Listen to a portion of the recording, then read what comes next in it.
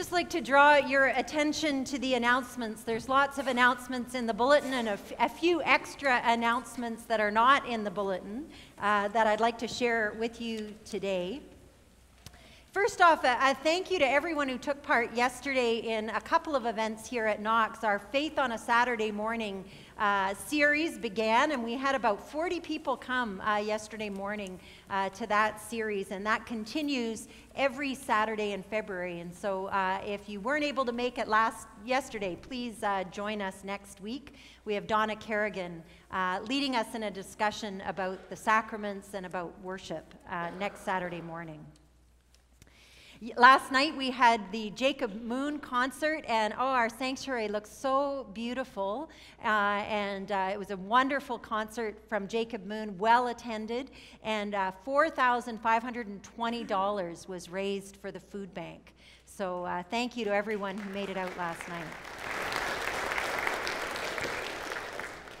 This week we begin a new Wednesday morning Bible study and it's about an hour long, starts at 10:30. You can use the Mitchell Street entrance. And for the month of February, we're going to be looking at some of our favorite old hymns and the scripture passages that are related to those hymns. And so if you'd like to join us one Wednesday in February, please uh, please do so. We meet in the library.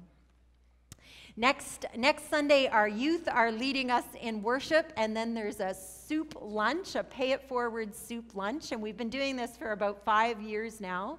And our young people and our young families make soup, and we have soup and buns and dessert. And then there's that prize, the coveted pay it forward prize. And you put in not your own name into the draw, but someone who you think uh, needs to needs to win a prize. And so uh, the basket's already in my office ready to be won. And so we hope you'll join us uh, next Sunday for that service. All of the proceeds from that luncheon go to Rodney Outreach, which sends our kids to camp. Uh, has sponsored things like our women's uh, retreat last weekend, uh, sends young people to Canada Youth, and uh, provides youth scholarships. So we hope uh, you're able to join us next Sunday. Uh, reminder to elders that our session packages are ready for pickup, and you can see Bob Holt following the service uh, in order to pick up your package. And then a few announcements about our young people and about our Sunday school. If you've walked through the fellowship room, you can see it's a chaotic place right now. We've been Megan's been working hard cleaning out all of our Sunday school rooms, uh, and some folk like Peter Vanderkoy have been refinishing some furniture, and uh, we're purchasing some new furniture for a grand reveal uh, in March. And so uh, just bear with us as we do that. We've ordered a lot of IKEA furniture. So we're looking for those people who like or have tolerated or are good at putting together IKEA furniture. We're having, and, and your payment is free pizza. so you can see the announcement about that and speak to Megan so she knows how many are able to come uh, for the IKEA build. Uh, we have a great gift from that was given to us by the late Bob McCaig before he passed away, and it's uh, scholarships connected to the STEAM Center. And many of us know the STEAM Center uses um, takes used and and uh, electronics, electronics that no longer we can no longer use, and they have teach young people how to rebuild them.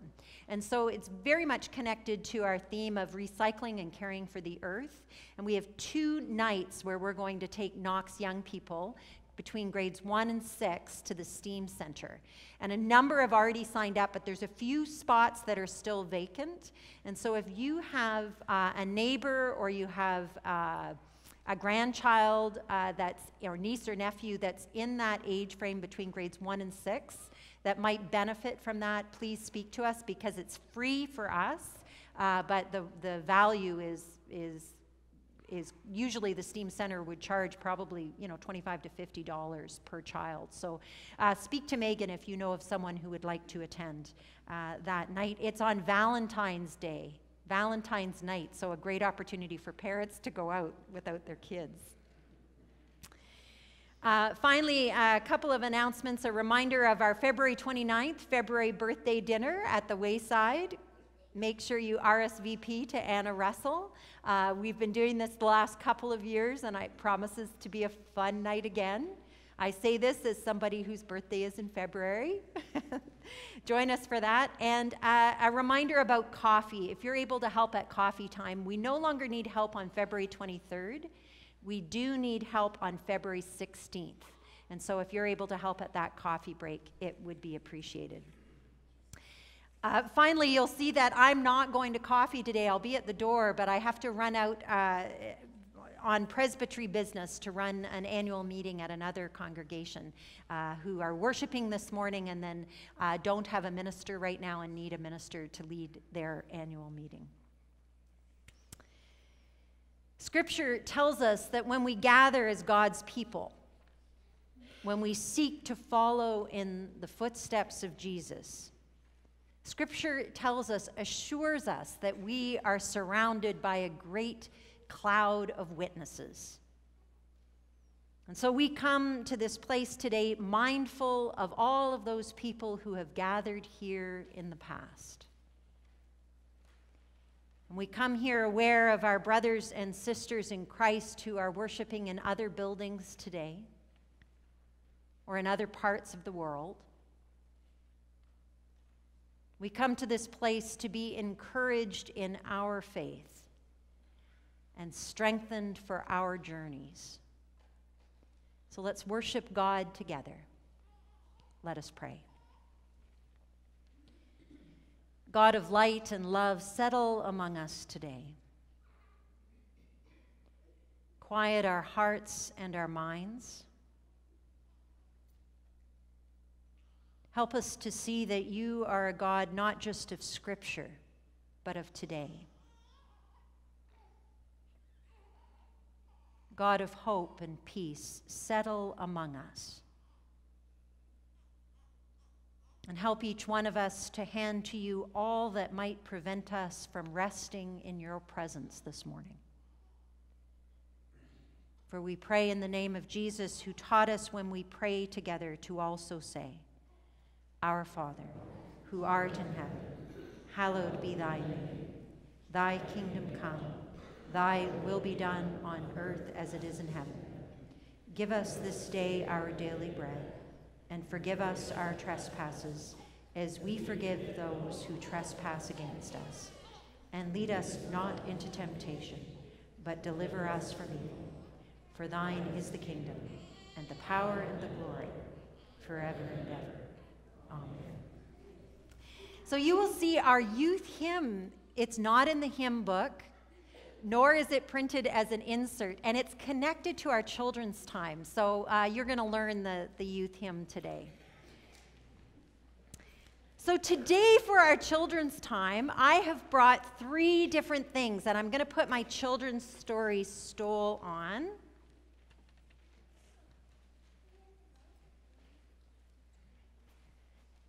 Ready to go?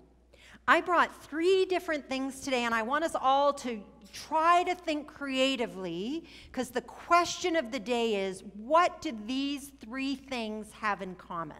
Are you ready? Oh, Luke and Charlotte are coming up. Good. Three things. So the first thing I, I took out of the bag. Now, anybody know what that is? Do you know? Oh, a plant. Well, M, I was hoping for more from you. Anybody know what recognize the kind of plant? Maggie, do you know? It's an amaryllis. It's an amaryllis. Now you might not believe it, but it has huge, beautiful flowers. Huge, beautiful flowers. So that's our first thing I want us to think about. My amaryllis. Okay, who wants to reach into the bag? Ellie. Reach in. Now, what is that? Do you know what that is? No, I need. Is anybody a little older than Ellie could read what it is? Charlotte, I wonder if you could read it. It's a hard word. I don't know if you know that word yet. Do you know what that is? No, it starts with a what letter? M. It is. You don't even know what it is. Nicole, what? do you know what that is? Oh, you could read it. Molasses. It's molasses. Now, does anybody know anything about molasses? I'm going to teach you if you have never cooked with molasses before. Mackenzie, come up. Come up. You can help me pour.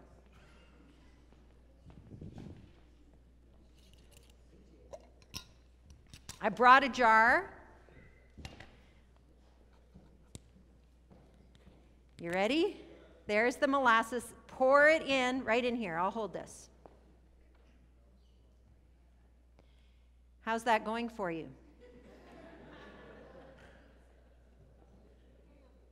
How's it going? It's not, why not? Check, look inside. Is there some in there? Yeah, try again. So, what have you learned about molasses? What do you know about molasses? It won't come out, yeah. It will, it will eventually, but it is, there's an expression that now you're going to use. You know, when your brother is in the washroom and you really need to go, and it's like you're waiting and you're waiting. Have you been like that? Now you're going to say, You're as slow as molasses. That's what my mother used to say. You're as slow as molasses. Or like your mom might say that when you try to go to school in the morning. Like, get out, get out of bed, get to school. You're as slow as molasses. That means you're this slow. Okay, so we're going to put that there. Thanks, Mackenzie. Now, I do have one more thing Oh, Luke, you're going to laugh at this thing. Pull it out. Okay, what is that? What is that? What did it used to be? What does it look like? It's a shoe. It's a shoe, but what do you think happened to my shoe? What do you think happened? My dog, I came home from church one Sunday and my dog, brand new shoes, brand new. And look what he, she did to them. So I can't really wear them anymore. They were my favorite pair. Buy, I did actually, to be honest. I did. I did. I did buy another. So, three things my amaryllis, molasses, and my dog eaten shoe. What do they have in common? Any idea? I don't think you'd ever guess. They are all things that remind me that God calls us in life to have a gift, and that gift is part of the song we're going to sing. It starts with P. What do you think it is? Starts with P. Like, so when Kenzie's waiting outside the bathroom and her brother is slow as molasses, what gift does she need to use? What do you think? What do you think, Charlotte? Patience. She's called to be patient. So, not to hammer on the door, but to maybe smile and go, is this worth me raising my blood pressure for? God has given me the gift to be patient. So today we're going to listen and sing a song about patience that I'm hoping we're all, it's one of those songs that get in your head, and then when you are waiting outside the bathroom door, or your dog has chewed your shoe and you're ready, your face is red, you're ready to get really mad I'm hoping that we'll all remember this song. And it's about a very slow animal. What kind of animal do you think it was? Not a turtle, but that's a good guess. Sloth, not a sloth, but good guess. Slug. Slug, very close to a slug. Starts with an S. A snail. It's about a snail. And I knew, I used to know this all by heart, and I sort of know it by heart. And I think it's very ironic that I'm singing it because the song is called Have Patience. and anybody who's heard me sing much or play guitar much will know that, uh, well, you're going to need patience for this song, for us to get through this song. Now, there's a chorus and you're going to learn it and it's actually in your bulletin on in the announcement sheet at the end of one of the columns there's a little uh, there's a little little chorus. And so we're going to try singing it. It goes like this Have patience, have patience. Don't be in such a hurry. When you get impatient, you only start to worry. Remember, remember that God is patient too. And think of all the times when others have to wait for you, you, you, you. There we go. Martin, this is like a real exercise for a musical person to have to listen to this. Martin is using every ounce of patience he has. So now you're going to listen and then we're going to sing that chorus together. Wish me luck. There was a snail called Herbert who was so very slow. He caused a lot of traffic jams wherever he would go. The ants were always getting mad. The beetles, they would fume. But Herb would always poke along and sing this little tune. You have to sing it slow. I know you want to sing it fast, but you can't. Have patience, have patience. Don't be in such a hurry when you get impatient. You only start to worry. Remember, remember that God is patient too. And think of all the times when others have to wait for you. When Herbert was much younger, he often got in trouble Forgetting that he was a snail, he did things on the double. When what happened? He'd crash through every spider web. With crickets he'd collide. Till one day Herbert's father took his speeding son aside. And he said, Have patience, have patience. Don't be in such a hurry. When you get impatient, you only start to worry. Remember, remember that God is patient too. And think of all the times when others have to wait for you. As you can well imagine, there's a moral to this tale. Some of you may find yourselves behind a creeping snail. So if you are impatient and you're easily disturbed, stirred, stirred, stirred, there we go. Just think about this little song and take a tip from Herb. Have patience have patience. Don't be in such a hurry. When you get impatient, you only start to worry. Remember,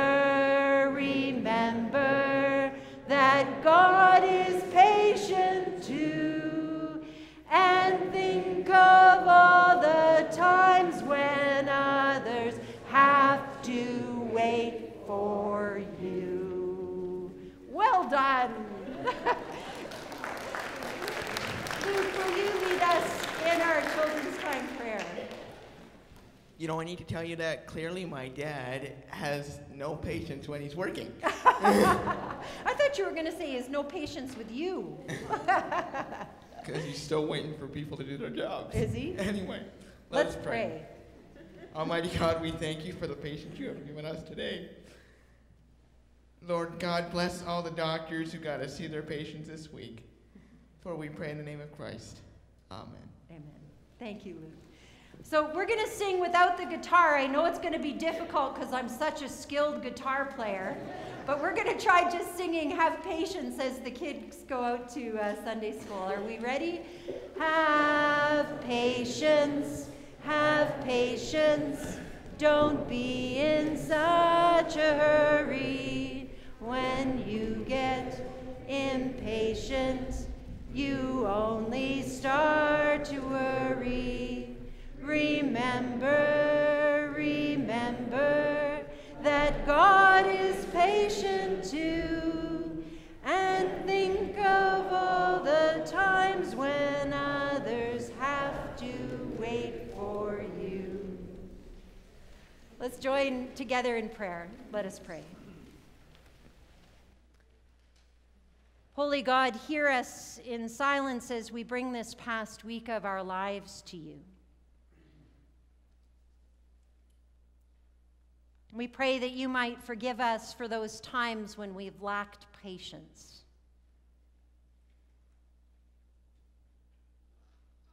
Forgive us for those times that we have not been patient with ourselves.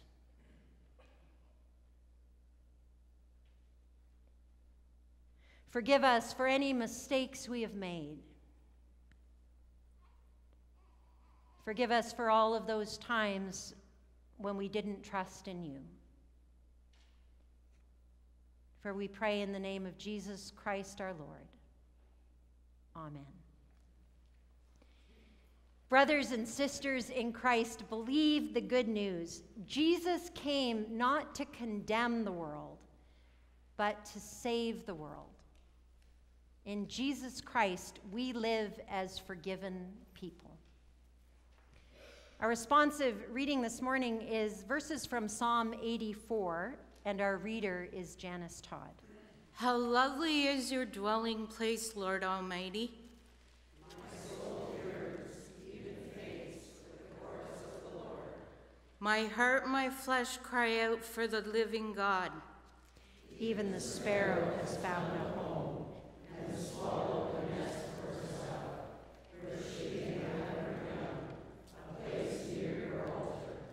Lord Almighty, my King and my God. Blessed are those who dwell in your house. They are ever praising you. Blessed are those whose strength is in you, whose hearts are set on pilgrimage.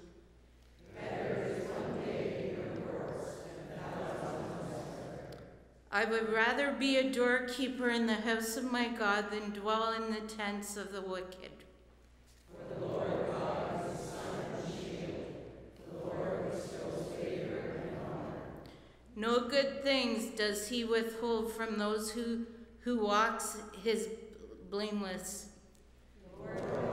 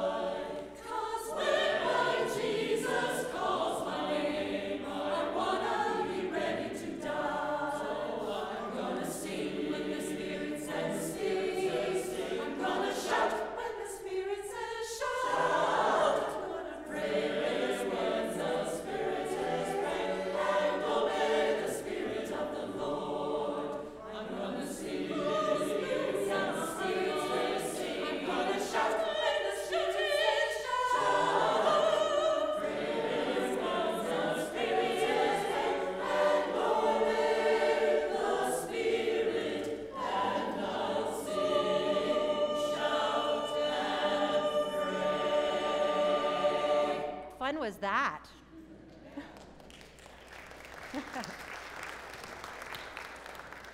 well, for the next uh, three weeks in worship, we're going to look at some of the unsung heroes of Scripture. Folk whose names we might not recognize or whose names are not even mentioned, but who are a part of the big story of the Bible. People whom God worked through. We're going to shine a light on a few of these unsung heroes. And we're going to reflect on their lives and think about how their story, what it might have to say about our stories as we live them in this day and age. So our first reading, our first unsung heroes, they come it comes from the Old Testament book of Judges. Now, if you were going to be a biblical hero, I need to tell you you would not choose to be in the book of Judges. That is not the book you would choose. The book of Judges is saturated with toxic events. It is saturated with stories of genocide. It's about slavery, and it has stories about the oppression of women. The judges, who are really just leaders, Old Testament leaders, their time in history is sandwiched between the great biblical heroes of Moses and Aaron and Joshua on one side, that's who comes before them. Those are the big leaders who led God's people out of slavery into freedom. And then on the other side, there's people like Samuel and King David and King Solomon. I mean, those are the heroes we know. And the judges fall in between those two time periods. They are the unsung heroes who worked and who lived in unpopular times. So let's listen together to the word of God as it is found in Judges chapter 2. Then the Lord raised up judges who saved the people of God out of the hands of their raiders. Yet the people of God would not listen to their judges, but prostituted themselves to other gods and worshiped them. They quickly turned from the ways of their ancestors who had been obedient to the Lord's commands. Whenever the Lord raised up a judge for them, he was with the judge and saved them out of the hands of their enemies, as long as the judge lived. For the Lord relented because of their groaning under those who oppressed and afflicted them. But when the judge died, the people returned to ways even more corrupt than those of their ancestors following other gods and serving and worshiping them. They refuse to give up their evil practices and stubborn ways. Let's join together in prayer. Let us pray. Almighty God, may this message be in the name of the Father and for the sake of the Son and by the power of the Holy Spirit. Amen. Well, I stumbled across a, a CBC News article uh, this past week that was looking at names. And it summarized the most popular names in Ontario over the last century. So, not just the last year, but over the last 100 years. And it, it went on to note that in 2019, for that year, the most popular names were Liam and Olivia.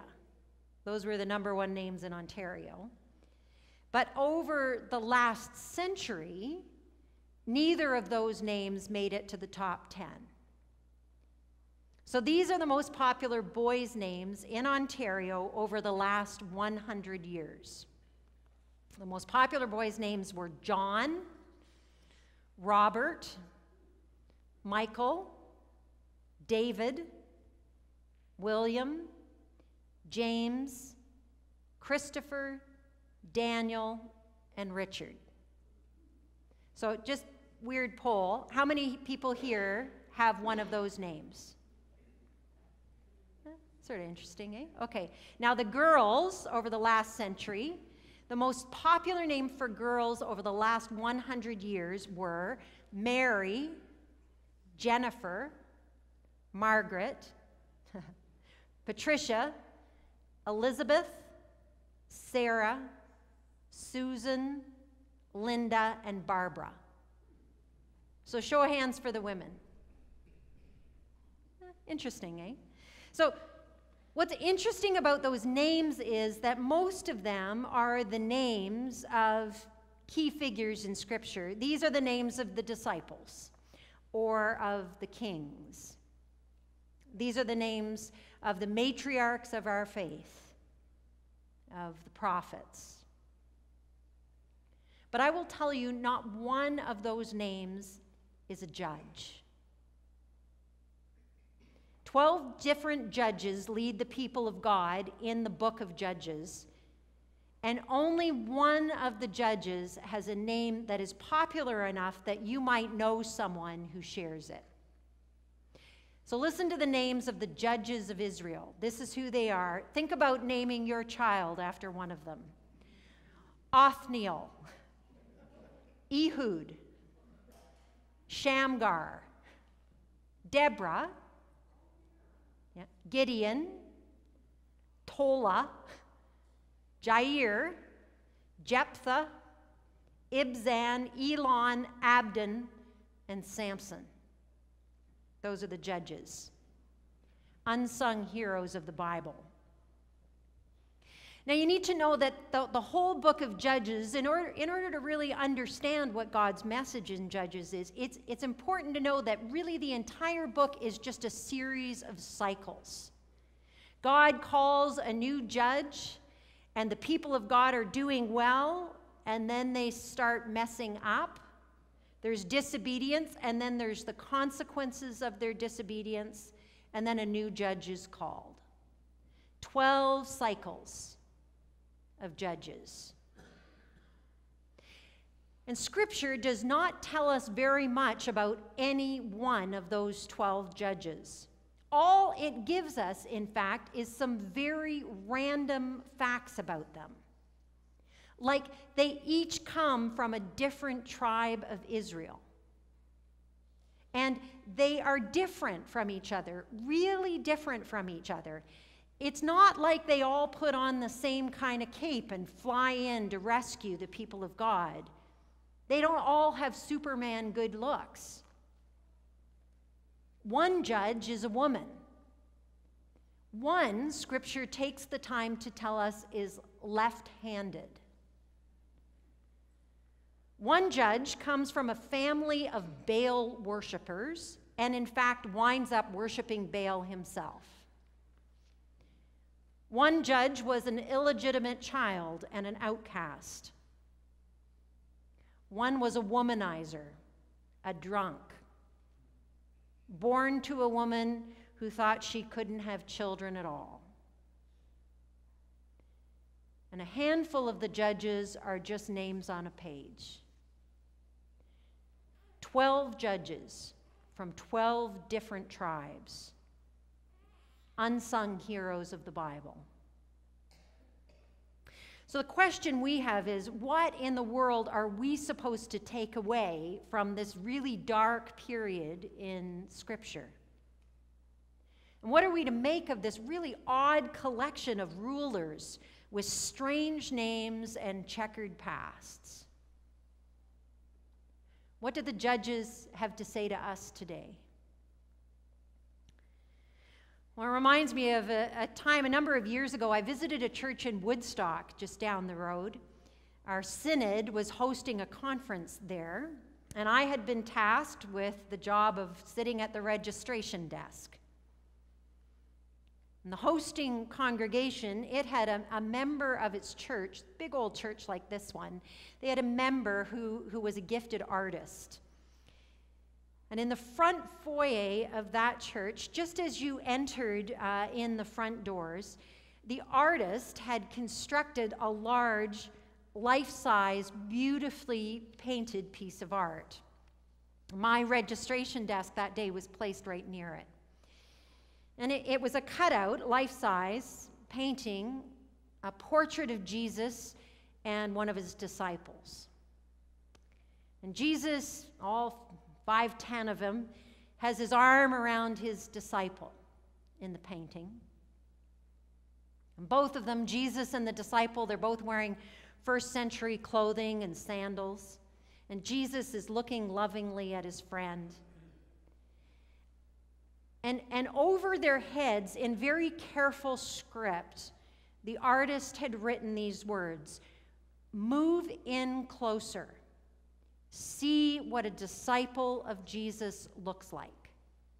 Move in closer, see what a disciple of Jesus looks like. So when I walked in the morning of the conference, I followed the sign. I walked in closer. I could see that the face of the disciple had not been sketched in. Walked a little bit closer yet, and I realized that in place of the disciple's face, the artist had placed a mirror.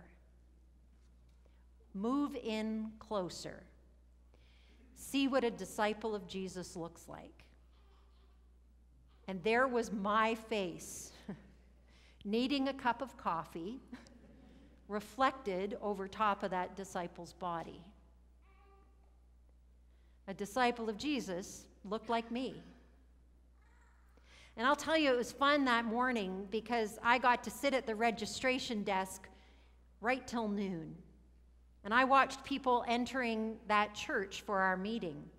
Little old ladies came in with walkers and purses. Ministers walked in in clergy collars. At one point, a teenager came in with purple hair looking for her mother because she had left her homework in the back seat of her mom's car.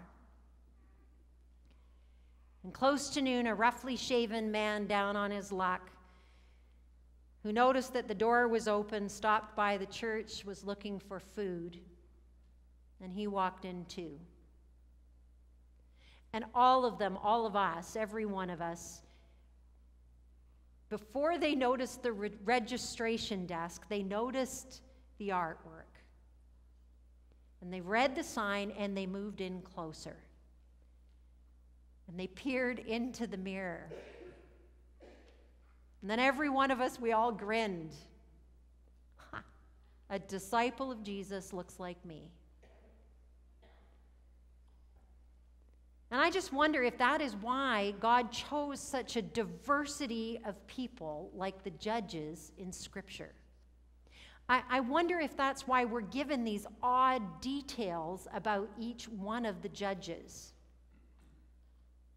I wonder if God is simply wanting to demonstrate to us how everyone can be used by God, no matter where we come from, no matter what we look like, no matter what our flaws, no matter what our weaknesses. Now, you and me, we might sit back and stroke our chins and cluck our tongues and say, I don't know, I think there's some people that should be in and out of the church or out of being called people of faith. And I imagine the people who first read the Judges felt the same way.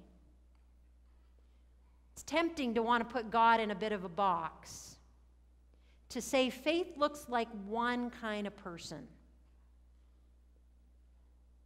But I'll tell you, I think the book of Judges is shaking its finger at us today. It's saying God is at work in our world, and we just need to be on the lookout because His voice might come to us from a very surprising place and person. Years ago, I, I read a, a, book. It was written by a Presbyterian woman, a, a minister's wife from Toronto. She'd been diagnosed in 1983 with cancer, and then in late December 1987, she again underwent major cancer surgery. And in this little book, she reflected about, uh, on all of the ways that God had spoken to her during this dark time in her life. And at one point in the book, she talks about angels. And she writes, I had angels come in to see me wearing jeans and cashmere sweaters. I had angels come to see me in three piece suits. I had angels in clerical collars.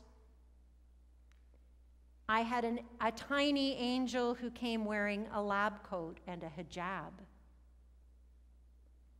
Sometimes she said the voices of angels sounded like an old friend on the other end of the phone. She wrote, I even tasted God's cooking, hand delivered by an angel who was still wearing her apron. She said she opened cards from angels, sometimes written in the shaky handwriting of a 95 year old, and sometimes in the uneven scrawl of a six year old. And that woman, that minister's wife, she became keenly aware that the Spirit of God was not something she could control. It was at work in her life. And she just needed to be open to wherever God might appear. I think that's the message of the book of Judges for us, these unlikely heroes. I think Judges challenges us to allow ourselves to be surprised by God, to listen and to welcome each person as if God maybe just sent them to us for a reason.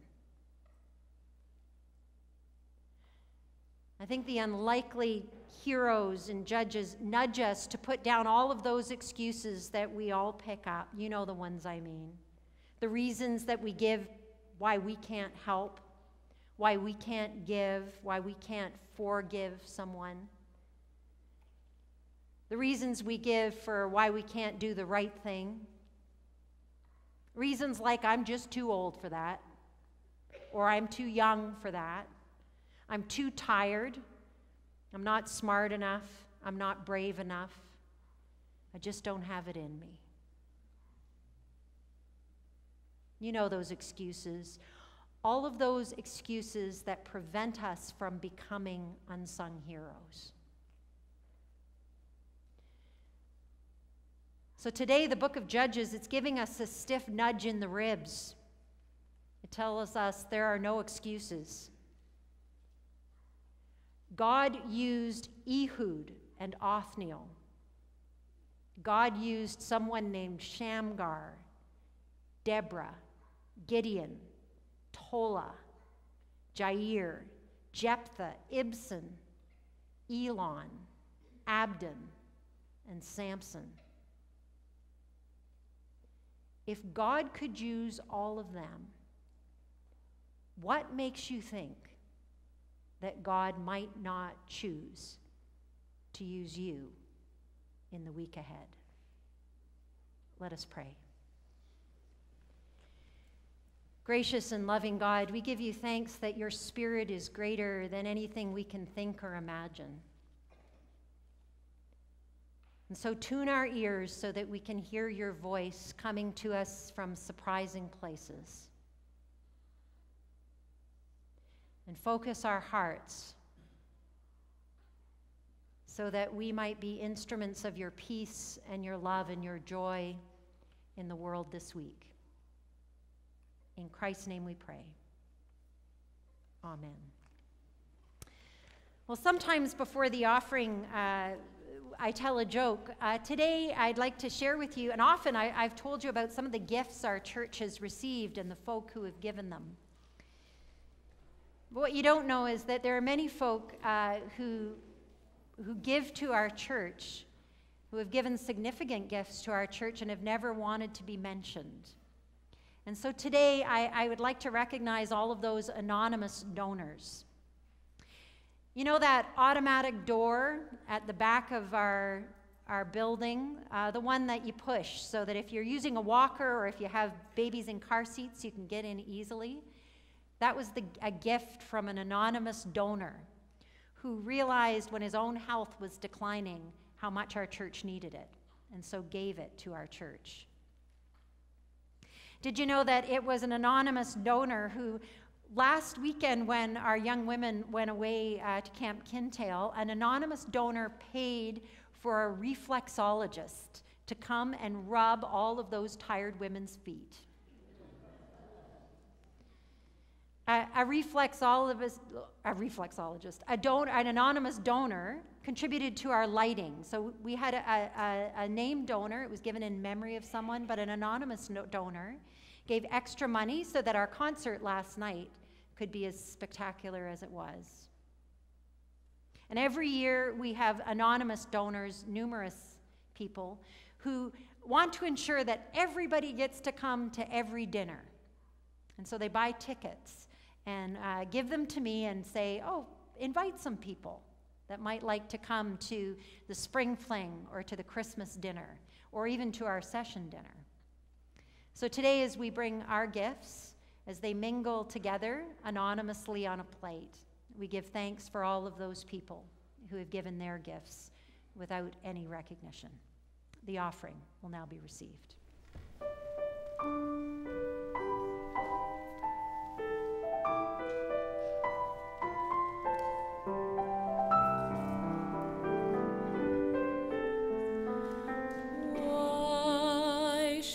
I feel discouraged? Why should the shadows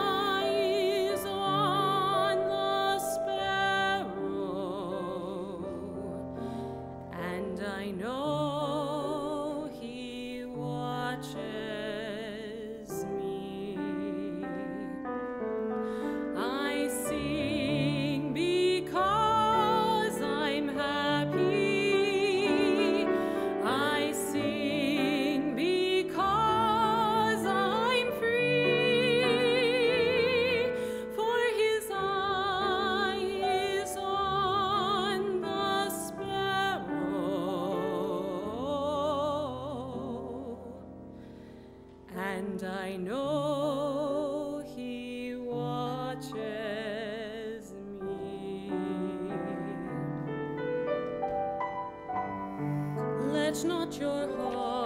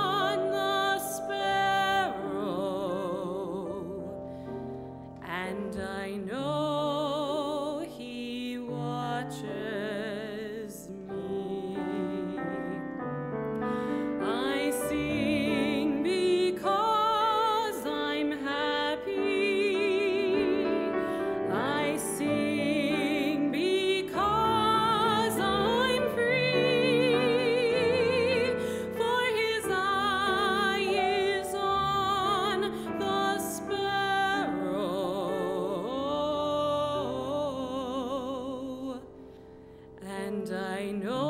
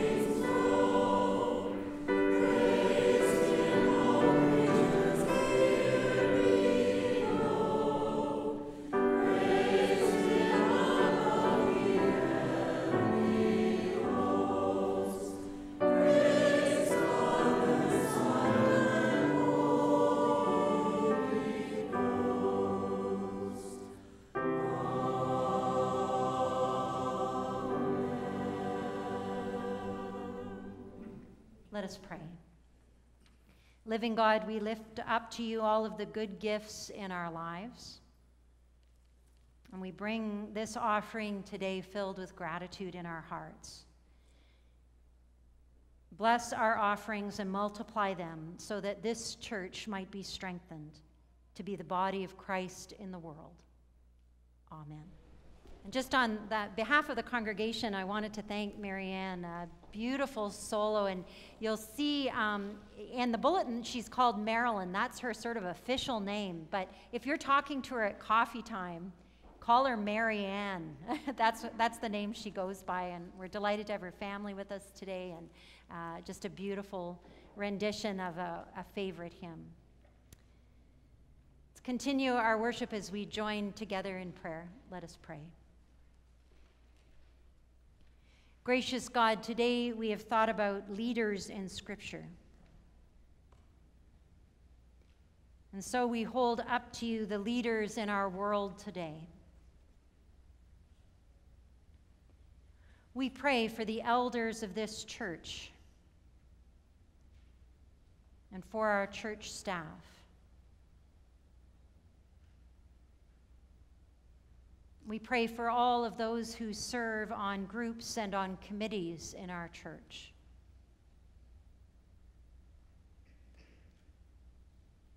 This morning, we hold up to you the clergy who work in other churches in this community.